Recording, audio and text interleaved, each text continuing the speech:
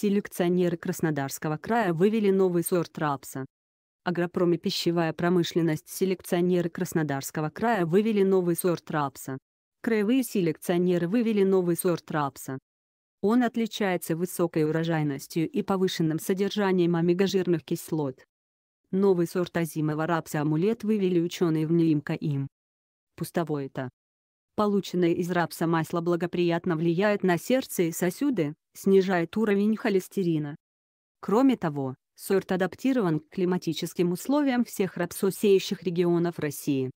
В настоящее время амулет проходит испытания в лаборатории в НИИМКА. Весной его планируется пересадить в открытый грунт.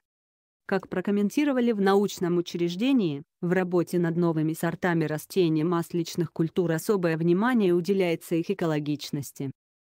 Перед учеными стоит задача не только увеличивать урожайность сельхозкультур, но и заниматься созданием экологически пластичных форм и работать над устойчивостью растений к патогенам, пояснили в Минсельхозе Кубани. В Краснодарском крае озимым рапсом под урожай 2019 года засеяно 28,7 тысячи г. Это на 6 тысяч г больше, чем годом ранее. Сельхозкультура применяется при изготовлении рапсового масла, биотоплива, косметических средств. Кроме того, рапс составляет основу комбикормов. Кубань сегодня является ведущим регионом России по селекции семеноводству сельхозкультур в числе ведущих селекционных центров России в НИИМКИ. Пустовое-то.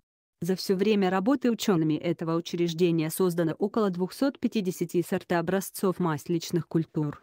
Подпишитесь на наш канал в Яндекс.Дзен и сделайте вашу ленту объективнее.